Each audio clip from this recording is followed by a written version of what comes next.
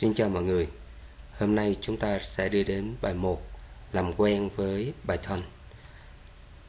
Để làm quen với Python thì ở trong chương trình hôm nay thì à, tôi sẽ giới thiệu với quý thầy à, cô và các em học sinh ở một phần mềm để chúng ta sử dụng Python đó là Python IDLE.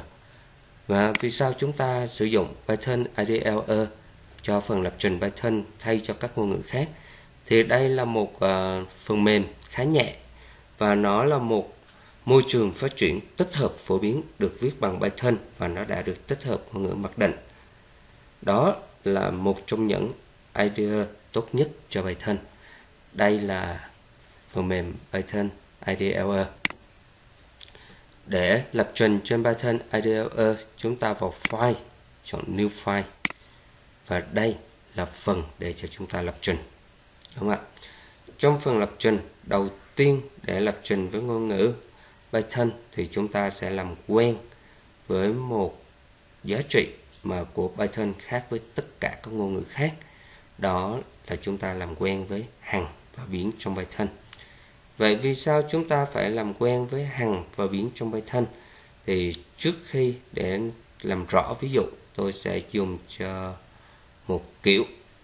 Đó là chúng ta xuất ra một câu hay là xuất ra một đoạn văn bản trong Python thì để xuất ra một giá trị hay là một à, hàng sâu trong Python chúng ta sử dụng câu lệnh đó là print, đúng không ạ?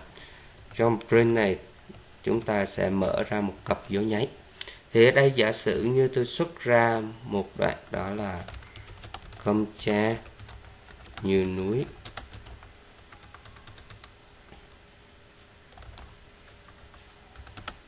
Thái Sơn Tiếp tục, muốn xuất ra một dòng nữa, tôi lại sử dụng câu lệnh print đúng không ạ? Như mẹ như nước trong nguồn chảy ra. Đúng không ạ? Rồi để chạy cái này, chúng ta sẽ vào run. Chọn run module. Đúng không ạ? Rồi, chúng ta click vào ok. Ở đây là yêu cầu cho chúng ta lưu file này trước khi chúng ta chạy. Thì ở đây tôi sẽ giả sử như lưu ở đây tạo ra một cái folder đặt tên là mở đầu. Đúng không ạ? Chúng ta lưu vào trong cái file mở đầu này. Một cái file đó là bài bài 1 đi, đúng không ạ? Rồi. Ở đây sẽ xuất ra công cha như núi Thái Sơn. Vậy mẹ, như nước trong nguồn chảy ra. Ở đây chữ núi tôi thấy mức chữ ô. Đúng không ạ? Rồi, vậy để xuất ra trong Python để xuất ra một giá trị nào đó, chúng ta sẽ sử dụng câu lệnh print.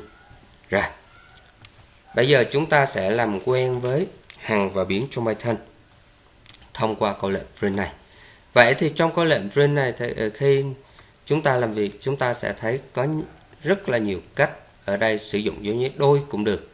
À, chúng ta không sử dụng dấu nháy đôi chúng ta sử dụng dấu nháy đơn cũng được. Ví dụ như thế này chúng ta vào print hoặc nhấn F5 chạy cũng được. Thì vẫn ra được kết quả là công cha như núi Thái Sơn. Thì vì sao ở trong Python linh động giữa dấu nháy đôi và dấu nháy đơn?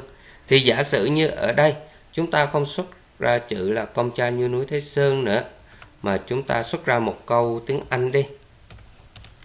I am a student. Đúng không ạ? Vậy thì ở đây chúng ta thấy này nếu như chúng ta sử dụng dấu nháy đơn ở I am student, thì dấu nháy đơn này nó cũng là dấu nháy đơn của ở trong I am. Đúng không ạ? Vì vậy khi chúng ta chọn run, thì ở đây trong chương trình Python sẽ không biết được là cái dấu nháy đó, nó là của ở nơi cái hàng sâu hay là dấu nháy này của ở trong câu văn bản. Vậy thì người ta sẽ quy ước nếu như trong câu văn bản của mình có dấu nháy đơn thì mình sẽ sử dụng ở ngoài là dấu nháy đôi. Còn nếu như ở trong của mình là có dấu nháy đôi thì mình sẽ sử dụng hàng sâu đó là dấu nháy đơn. Đó là ý nghĩa của vì sao trong một hàng sâu của Python chúng ta có thể sử dụng dấu nhét đôi hoặc dấu nhét đơn đều được đúng không ạ rồi đó là một cái gợi ý cho chúng ta ở dấu nhét đơn hoặc dấu nhét đôi trong ngôn ngữ Python. Bây giờ chúng ta sẽ làm quen với xuất ra một cái giá trị. Giả sử như ở đây tôi có một cái giá trị số như thế này. Đúng không ạ? Cộng với một cái giá trị số như thế này. Đó. Rồi, tôi sẽ vào run. Để chạy giá trị này. Rồi ra một cái kết quả. Kết quả này chúng ta thấy đây là một lợi thế nữa của Python. Đó là lợi thế gì ạ? Trong Python số, số giá trị của một số thì rất là lớn. Đúng không ạ? Giá trị của một số cực lớn và đây là một điểm mạnh so với các ngôn ngữ khác. Đúng không ạ? Rồi, vậy thì ở đây để mà xuất ra một cái giá trị số này, chúng ta làm như thế này. Đúng không ạ? Giả sử như chúng ta cộng với một lần của cái số này nữa. Ở đây chúng ta cộng với một lần của số đó nữa. Đúng không ạ? Rồi, chúng ta chạy. Rồi, vẫn ra được kết quả. Bây giờ giả sử như tôi muốn cộng với một lần của số đó nữa. Đúng không ạ? Rồi, tôi chạy nữa. Thử xem kết quả như thế nào. Vẫn ra kết quả đúng không ạ? Rồi, bây giờ tôi giả sử như cái số này đã thay đổi nó không còn là như thế nào số dài dài dài dài như thế này nữa mà tôi thay đổi nó qua một cái số khác giả sử như tôi ờ, thay đổi nó như thế này vậy thì ở tất cả các số sau này tôi cũng phải thay đổi và đó tạo cho chúng ta một cái khó khăn đó là khó khăn khi chúng ta cộng số vẫn ra kết quả. Nhưng khi thay đổi một giá trị chúng ta sẽ thấy nó gặp rất là nhiều phiền phức. Vì vậy ở trong uh, các ngôn ngữ lập trình người ta sẽ làm cách nào đó để mà chúng ta khi thay đổi số nó sẽ mang một cái cách để làm đơn giản hơn giúp cho người lập trình có thể nhẹ nhàng hơn. Và người ta gọi đó là biến. Đúng không ạ? Rồi giả sử như tôi có biến a bằng một cái giá trị như thế này. Đúng không ạ? Tôi có một cái biến b bằng một cái giá trị như thế này. Đúng không ạ? Rồi, ở dưới này tôi muốn tính tổng thay vì chúng ta lấy những cái chữ số của a, b đó cộng lại, thì tôi sẽ lấy a cộng b. Đúng không ạ? Và rồi, tôi xuất ra giá trị. Tương tự như lúc nãy, chúng ta thấy là khi chúng ta cộng những cái giá trị này bài toán của chúng ta rất dễ dàng đúng không ạ? Rồi bây giờ tương tự như ờ, bài toán ở trên tôi muốn cộng thêm một lần giá trị b nữa. Tôi chỉ ghi cộng b vào run. Rồi. Đó, ok. Rồi vẫn ra kết quả. Bây giờ cộng thêm một lần giá trị b nữa. Ta lại cộng thêm một lần giá trị b nữa. Ta vào run để chạy. Đúng không ạ? Ta vẫn ra giá trị vậy thì bây giờ giả sử như giá trị b thay đổi giá trị như thế này. Đúng không ạ? Vậy thì ở nơi bài toán này, nếu như vẫn cộng 3 lần, chúng ta vẫn giữ nguyên kết quả như ở dưới và cộng lại. À vẫn ra kết quả theo yêu cầu. Vì vậy, khi chúng ta đặt một biến để làm đại diện cho một con số nào đó, thì khi thay đổi một loạt các phép toán ở bên dưới, thì chúng ta sẽ dễ dàng hơn để cộng. Đúng không ạ? Và cái thứ hai là khi chúng ta thay đổi giá trị nào đó, thay vì chúng ta cứ copy dán copy dán, thì cũng có thể đôi lúc chúng ta dán thừa hoặc là chúng ta cộng dư như thế nào đó, đúng không ạ? Thì ở đây nó là một cái cách để cho chúng ta, vì sao chúng ta phải sử dụng biến trong lập trình? Thì biến ở trong lập trình giúp cho chúng ta có thể chính xác hơn các giá trị, đúng không ạ? Vậy thì ở đây, số này nó là kiểu dữ liệu gì, đúng không ạ? Vì trong Python khi chúng ta gán một biến chúng ta không khai báo kiểu dữ liệu của nó. Vậy thì để biết nó là kiểu dữ liệu gì, chúng ta sẽ sử dụng một cái câu lệnh. Đó là câu lệnh type đúng không ạ? Đây, câu lệnh type ở một cái giá trị, đúng không? Ha, một cái giá trị. Thì ở đây khi chúng ta sử dụng câu lệnh type của một cái giá trị này, thì chúng ta sẽ biết được cái giá trị đó mang một cái kiểu dữ liệu nào trong Python. Giả sử như tôi muốn biết A là kiểu dữ liệu nào trong Python, tôi sẽ ghi là type của giá trị của A. Rồi, tôi vào run. Tôi chạy. À, tôi xin lỗi.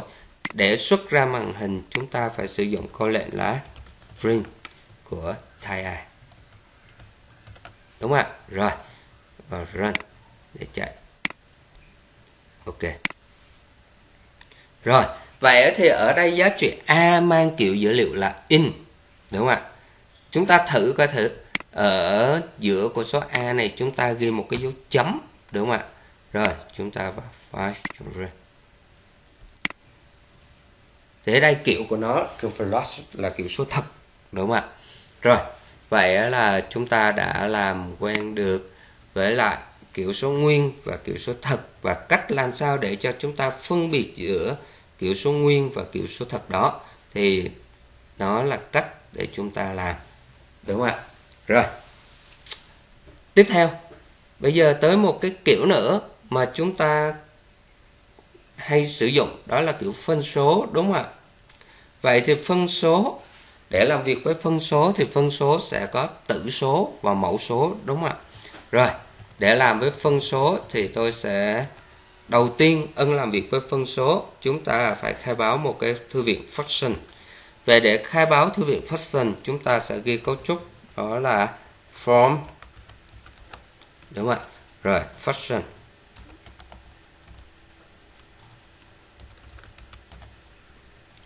import sao? Vậy ở đây nghĩa là chúng ta lấy cái thư viện function này để cho chúng ta làm, đúng không ạ? Rồi, về cấu trúc của function nghĩa là gì? Ở đây, để sử dụng cấu trúc của function chúng ta sẽ, đó là function thì gồm có tử số và mẫu số, thì chúng ta sẽ ghi là function đúng không ạ? Mở ngoặc ra. Về giá trị đầu tiên của trong function nó là tử số, và giá trị thứ hai trong function nó là mẫu số. Đúng không ạ? Rồi giả sử như ở đây a là tử số b là mẫu số. Vậy để nhập vào thì chúng ta sẽ ghi như thế nào ạ? À, giả sử như tôi sử dụng ở đây luôn câu lệnh print ra xuất ra cho mau à, à chứ làm kia thì lâu. Giả sử như ở đây tôi sử dụng cấu trúc là function đúng không ạ? Rồi mở ngoặc ra. Giá trị a vậy b. Print là xuất ra đúng không ạ? Rồi mình sẽ vào run và chạy. Đây ok. Rồi đây chúng ta thấy dấu này. Dấu này là phần trước là phần tử số và phần sau là phần mẫu số của một cái phân số đúng không ạ? Đó là chúng ta đã làm qua một cái kiểu tiếp theo đó là kiểu function rồi và chúng ta đã làm quen với lại là biến trong à, uh, Python thì bây giờ chúng ta sẽ có một cái bài tập đơn giản là nhập vào hai số AB và xuất ra tổng của hai số AB vậy để nhập vào hai số AB thì ở đây chúng ta sẽ làm quen với một cái hàm, đó là hàm nhập vào từ bàn phím, đúng không ạ? Để nhập vào từ bàn phím thì chúng ta sẽ sử dụng là input, đúng không ạ? Ở đây là tới câu thông báo nhập câu thông báo nhập đúng không ạ?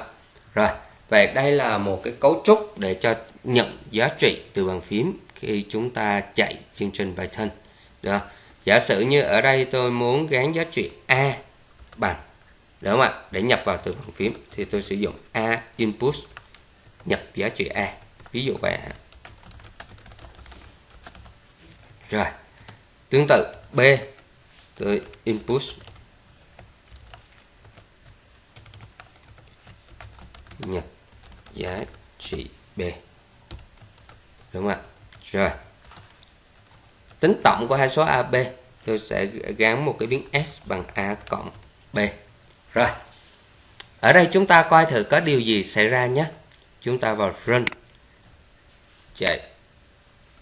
Ok a ở đây thấy nhập giá trị a tôi nhập là 45 b tôi nhập là 23 thì theo uh, mọi người kết quả ra bằng bao nhiêu ạ à? nếu như chúng ta hiểu bình thường kết quả của bài này sẽ ra là 68 đúng không ạ vậy thì bây giờ chúng ta sẽ enter coi kết quả ra bằng bao nhiêu ạ à? à tôi xin lỗi ở đây chúng ta chưa xuất ra kết quả vậy thì ở đây sau khi tính tổng của a cộng b thì chúng ta muốn thấy được kết quả chúng ta phải print giá trị s. Rồi vậy ở đây để xuất ra kết quả chúng ta vào run chọn run module. Rồi giá trị a bằng 45 giá trị b bằng 25 nếu như đúng là kết quả ra 70 đúng không ạ? À, nhưng kết quả lại ra là 45 25 vậy 4525 nghĩa là gì ạ? Nghĩa là số 45 là A, số 25 là B. Vậy thì ở đây nó sẽ là lấy sâu A cộng cho một cái sâu B. Vậy thì ở trong Python tất cả những cái giá trị mà được nhập vào, thì nó luôn luôn nó là chuỗi hay là sâu, đúng không ạ? Và phép toán cộng này nghĩa là nó là nối hai sâu, đúng không ạ? Và trong câu lệ này chúng ta lại thấy nãy giờ chúng ta ân xuất ra một cái giá trên một cái gì đó, thì chúng ta sẽ có hai dạng. Là dạng xuất ra một hàng thì chúng ta phải đặt cặp dấu nháy. Còn dạng xuất ra giá trị thì không có cặp dấu nháy. Đúng không ạ? Rồi, quay lại. Bây giờ giá trị a và giá trị b. Làm sao để cho chúng ta có được giá trị a và giá trị b để cộng? Thì lúc đó chúng ta sẽ có một cái câu lệnh đó là in của cái này. Vậy in của một cái giá trị nghĩa là chúng ta đưa cái giá trị sau đó về kiểu số nguyên, đúng không ạ? In của cái này. Rồi, vậy thì cái in của một cái gì đó người ta gọi là ép kiểu của cái đó về cái giá trị nằm ở phía trước này. Nghĩa là chúng ta ép cái sau này về kiểu số nguyên, ép sau này về kiểu số nguyên, đúng không ạ? Và lúc này chúng ta chạy vào run. Run module rồi giá trị A bằng 45 giá trị B bằng 23 và kết quả ra 68 rồi chúng ta đã xong ở một phần một cái bài đơn giản đầu tiên đó là nhập vào hai số AB và tính à, tổng của hai số AB rồi bây giờ đưa lên bài toán là nhập vào hai số AB và tính thương của hai số AB.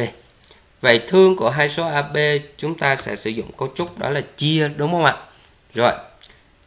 Chúng ta chạy thử ha. Chúng ta vào run chọn run module. Rồi, giá trị A bằng 45, giá trị B bằng 67. Kết quả bằng 0.67. Đúng không ạ? Rồi. Vậy thì ở đây chúng ta đã có được đây là phép chia của à, số A chia cho số B. Và cái giá trị này này, bây giờ tôi lại muốn là xuất ra cái giá trị này mà chúng ta chỉ lấy hai chữ số thập phân thôi. Vậy thì bây giờ chúng ta lại làm quen với một cái câu tiếp theo, đó là làm tròn trong Python như thế nào. Thì ở đây để xuất ra hai chữ số thập phân thì tôi sẽ sử dụng như thế này. Nháy nháy. Phần trăm chấm 2f đúng không ạ sau đó tới phần trăm của giá trị này được không ạ? Phần trăm chấm 2S nghĩa là lấy hai giá trị thập phân của cái số s này. Chạy thử ha. Run. a 45 b 68 rồi 0,66 vậy thì bây giờ lấy ba chữ số thập phân sao ạ? Thấy số 2 thành số 3 chạy thử ạ.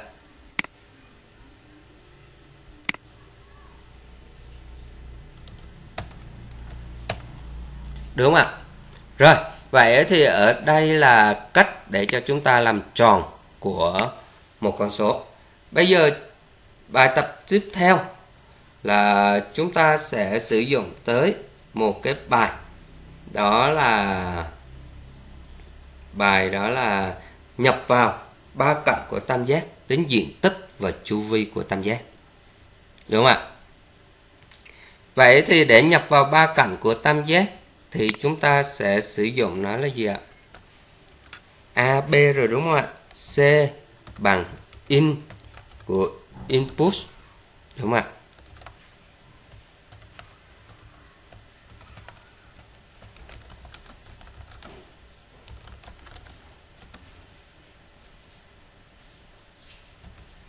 Nhập giá trị C. mình làm cho giống giống ở trên, chứ còn câu lệ này thì cũng không quan trọng, đúng không ạ? Rồi. Vậy thì đầu tiên chúng ta sẽ tính chu vi bằng tổng của ba cạnh, đúng không ạ?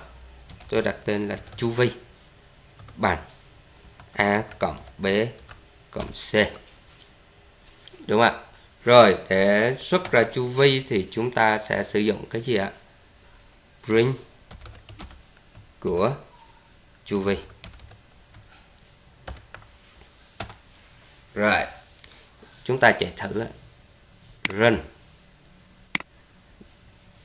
chúng ta có thể ấn phím tắt bằng F5 cũng được ạ à. 4 6 7 chu vi bằng 17 đúng ạ à? chính xác rồi bây giờ chúng ta sẽ sử dụng để tính chu vi à, tính diện tích của một tam giác khi biết ba cạnh chúng ta sẽ sử dụng công thức Heron đúng không ạ S bằng căn bậc 2 của P nhân P trừ A, nhân P trừ P, nhân P trừ ờ, C. Với P là bằng nửa chu vi. Vậy thì ở đây chúng ta sẽ gắn P bằng chu vi chia 2 đúng không ạ? Chu vi chia 2 rồi. Bây giờ chúng ta sẽ tính diện tích. Vậy thì ở đây sẽ có lỗi khi tôi viết ờ, này và tôi sẽ giải thích lỗi vì sao. Diện tích sẽ bằng. Căn bậc 2 ở trong này chúng ta sử dụng là SQRT của P nhân với P trừ A nhân với P trừ B nhân với P trừ C. Đúng không ạ? Và đóng ngoặc của cái này. Sau đó tôi xuất ra diện tích là sử dụng câu lệnh đó là print của diện tích đúng không ạ? Bình thường chúng ta sẽ ghi có lệnh này. Rồi, chạy thử ha nhấn F5 để chạy. F5 à, ở trong này. Chúng ta sẽ vào run. Chọn run module. Rồi. Nhập.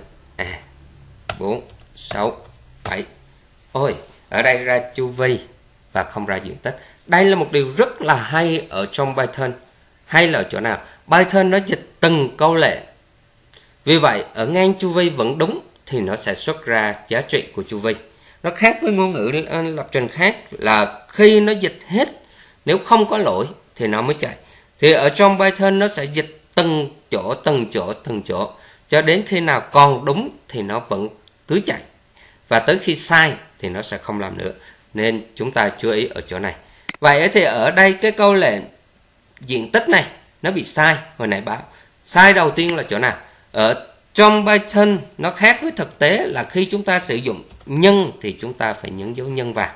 Ở đây chúng ta thiếu mất bà dấu nhân ở nó. Vẫn còn lỗi sai, chúng ta chạy. Và tôi sẽ nói tiếp tục. Nếu như chúng ta không vẫn thì chúng ta sẽ vẫn tiếp tục sai ở chỗ này. Giá trị A 4 5 6 ra 15 và sai sai ở chỗ nào ạ? À? sai ở SQRT chưa được định nghĩa. Vậy thì ở đây để định nghĩa thì chúng ta sẽ làm một cái công việc. Đó là chúng ta đang sử dụng công thức toán học thì chúng ta phải import thư viện cho toán học vào. Trước khi sử dụng SQRT chúng ta phải import một cái thư viện. Import thư viện Mac. Đúng không ạ? Vậy thì ở cái thư viện Mac này này nó là thư viện toán. Và ở đó SQRT nó là một cái thủ tục nằm trong thư viện toán. Thì chúng ta sẽ ghi là mac.sqrt và chúng ta chạy. Đúng không ạ? Vào run và chúng ta chạy. Rồi. 4 5 6 rồi bây giờ chúng ta thử nhớ lại. Bài à, trước chúng ta đã làm tròn hai chữ số của một cái số thật thì bây giờ chúng ta nhớ lại thử gây ra ở trong một cái tờ giấy coi thử làm tròn bằng cách nào để mà chúng ta làm tròn giá trị đó đúng không ạ rồi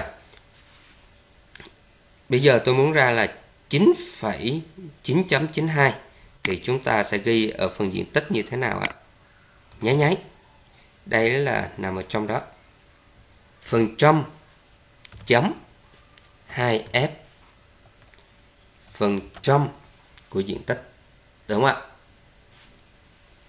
Đó. Vậy thì ở đây để xuất ra một cái thì chúng ta sẽ sử dụng như thế này để lấy giá trị.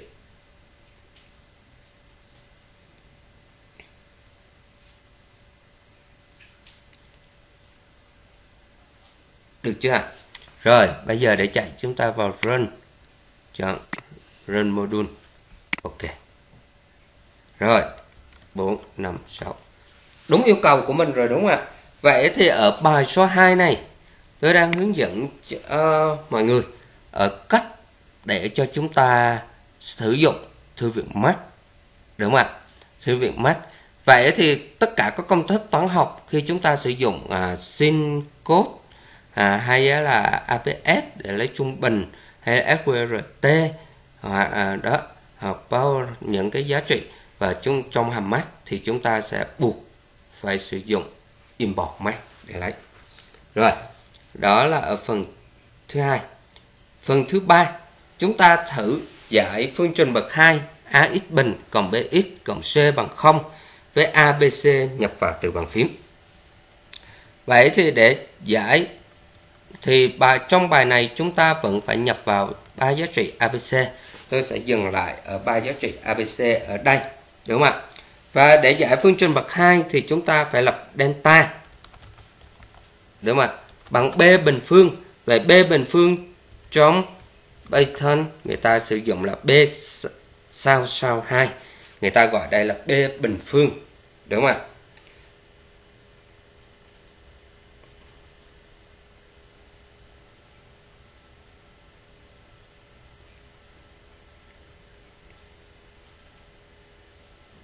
Đó. Vậy đây là B bình phương. Bây giờ trừ 4AC 4 nhân A nhân C. Rồi, vậy thì vừa rồi tôi đã trình bày à, cho một cái đó là x mũ y. x mũ y thì ở đây chúng ta sẽ ghi là x sao sao y để cho ra là x mũ y. Đúng không ạ? Đó là cách để cho chúng ta biết được làm sao để ra x mũ y. Rồi. Tiếp tục, chúng ta có căn bậc 2 đúng không ạ? Vậy thì ở đây, như bài trên, chúng ta sẽ sử dụng là import mặt để lấy căn bậc 2 chúng ta gắn x1 bằng mở ngoặc ra trừ b. Trừ căn delta. Max chấm sqrt đúng không ạ? Của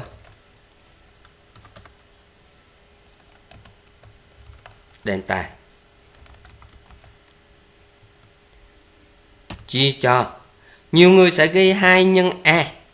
Đúng ạ? Vậy thì đây đúng hay sai? Mình sẽ phân tích ở bình thường ở phần trước này là phần đóng ngoặc của tử số, đúng không ạ? Chúng ta sẽ đóng ngoặc. Tại vì trừ b thì buộc lòng chúng ta phải đóng ngoặc rồi. Đó. Và chia cho 2a đúng không? Phần này thì chúng ta sẽ không cần phải đóng ngoặc. Vậy thì kết quả đây này. Nếu như bình thường người ta sẽ nói là nhân chia trước cộng trừ sau và trong ngoặc thì được ưu tiên trước vậy ở đây nó sẽ tính delta. Xong nó lấy trừ b, trừ cho cái căn delta này. Sau đó sẽ làm như thế nào ạ? Chia 2 và lấy kết quả nhân a, đúng không ạ? Vậy thì nó sẽ, kết quả của mình sẽ bị sai. Vì vậy, nhiều người thấy là nhân như thế này sẽ không có mở ngoặc đóng ngoặc ở chỗ này. Và lúc đó ra kết quả sai. Và x2 thì bằng trừ b cộng căn delta chia 2a đúng không ạ? Chúng ta chỉ sửa lại ở chỗ này một chút xíu thôi. Rồi.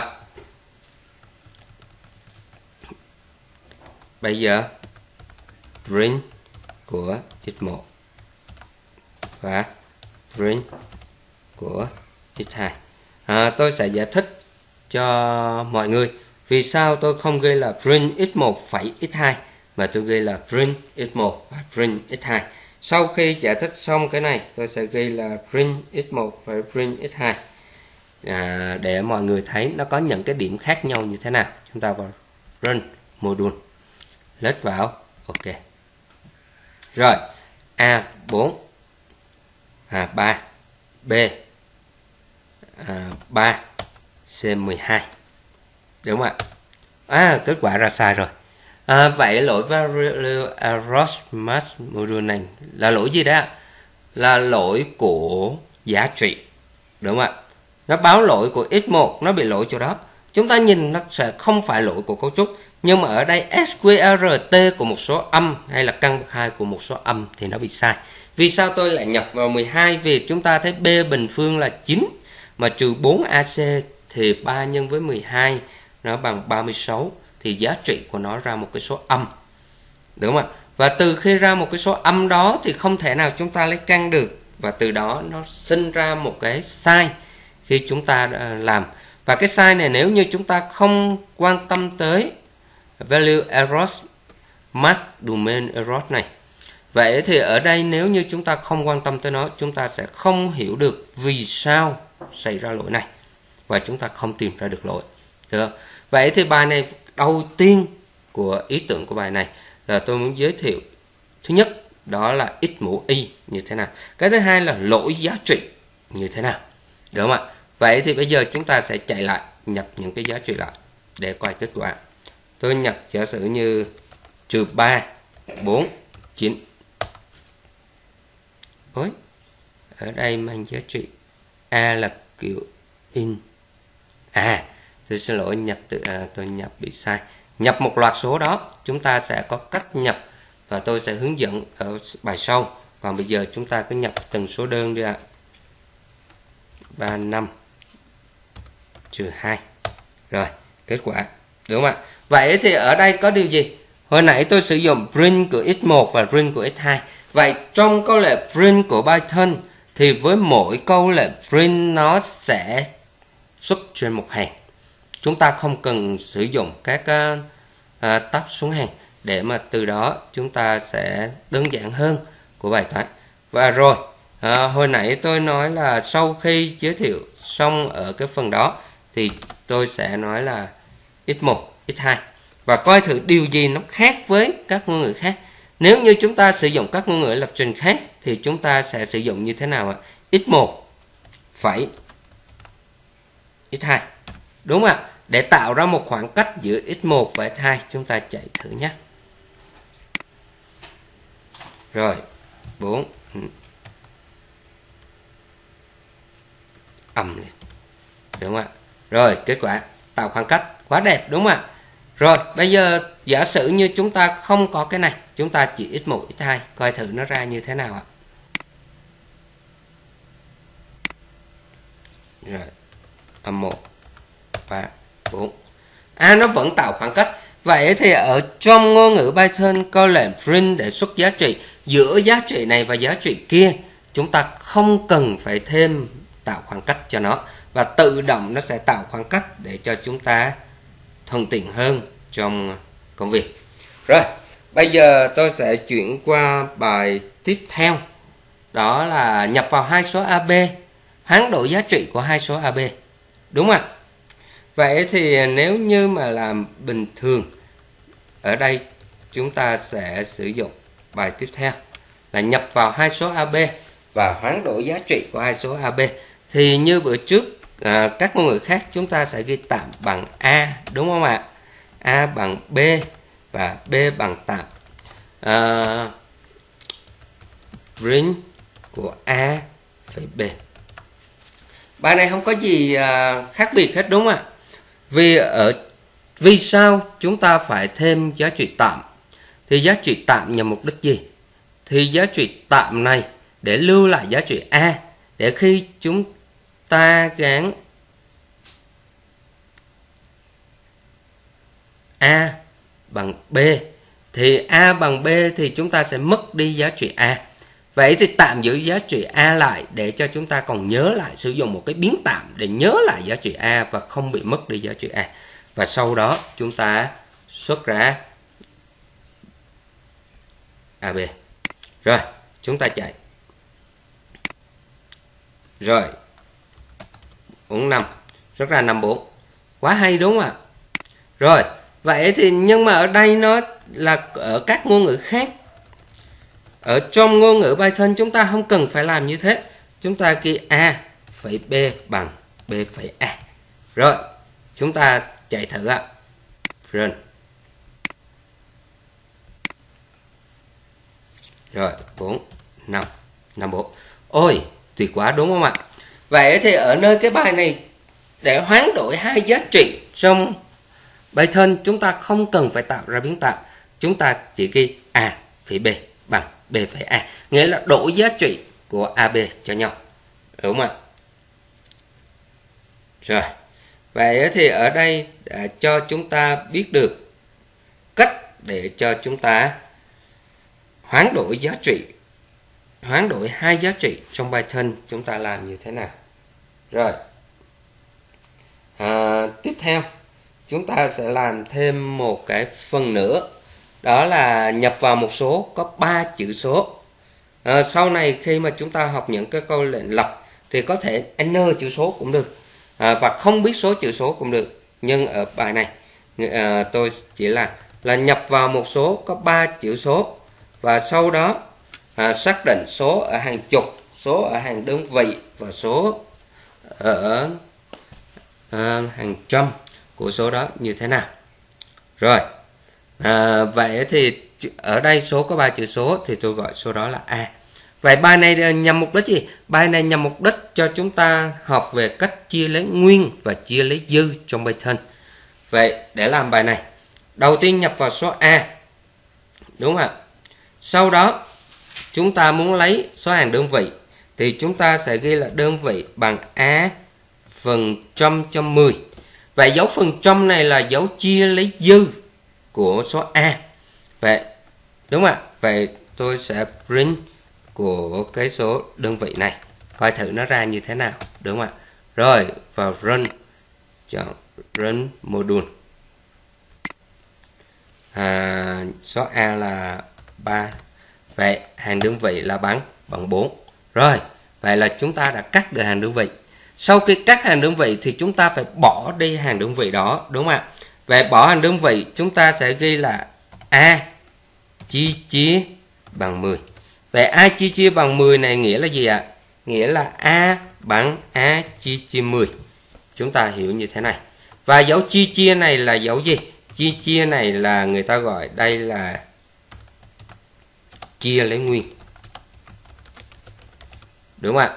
Rồi, vậy nghĩa là chúng ta lấy phần nguyên của A chia cho 10 và ví dụ như hồi nãy 1, 2, 3 mà chúng ta làm A bằng A chia 10.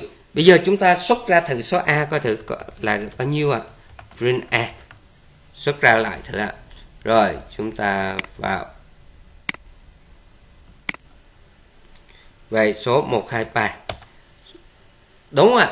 Vì ờ, chúng ta có hàng đơn vị là bằng 3 và chúng ta lấy phần nguyên của 1, 2, 3 mà chia cho 10 là bằng 12. Vậy là chúng ta đã mất đi số 3 rồi. Bây giờ lấy số 2 thì tương tự như ở trên, đúng không ạ? Muốn số 2 thì chúng ta sẽ, hàng đó là hàng gì ạ? Hàng chục, đúng không ạ? Hàng chục sẽ bằng A phần trăm cho 10. Và print của hàng chục. Đúng không ạ? Rồi. Ở đây chúng ta sẽ tiếp tục sao ạ? Chạy thử ha. Run ở đây tôi nhập số là 1 2 3 chúng ta đã có 3 2 à ở đây có nhiều người sẽ làm như thế này. À, sẽ gắn bỏ đi ờ, số 2 đi đúng không ạ? Nghĩa là bằng 10 đúng không ạ? Rồi à, sẽ xuất ra tiếp theo là sao? À, hàng trăm bằng a phần trăm cho 10 và print của hàng trăm đúng à? Nếu như mọi người sẽ làm như thế này. Run. Rồi, coi thử kết quả nhỉ một, hai, ba. U, đúng quá. Chúng ta làm xong rồi. Hay. Nhưng thực chất bài này bị thừa. Thừa chỗ nào ạ? Sau khi chúng ta chia đây rồi thì còn lại một chữ số thì chắc chắn số đó là số hàng trăm đúng không ạ? Chúng ta xuất ra a ngay tại chỗ này. Hoặc có thể là chúng ta cũng sao ạ? à? Phần trăm cho 10 đó là số hàng trăm, đúng không ạ? Thử cả hai giá trị này, coi thử cái nào. Hai cái đều được cái nào rồi, một, hai, ba. Quá chính xác. Vậy thì chúng ta đã thừa đi mất hai phép toán, đúng không ạ? Rồi, vậy bài này là để cho chúng ta quen được với các giá trị tính hàng chục, hàng trăm, hàng đơn vị thông qua phép toán chia lấy dư và chia hết trong bài thân vậy trong chương trình vừa rồi tôi đã ở bài này tôi đã cho mọi người làm quen với những điều cơ bản nhất của Python và những chú ý cơ bản khi chúng ta sử dụng ngôn ngữ Python. À, trân trọng kính chào, hẹn gặp lại.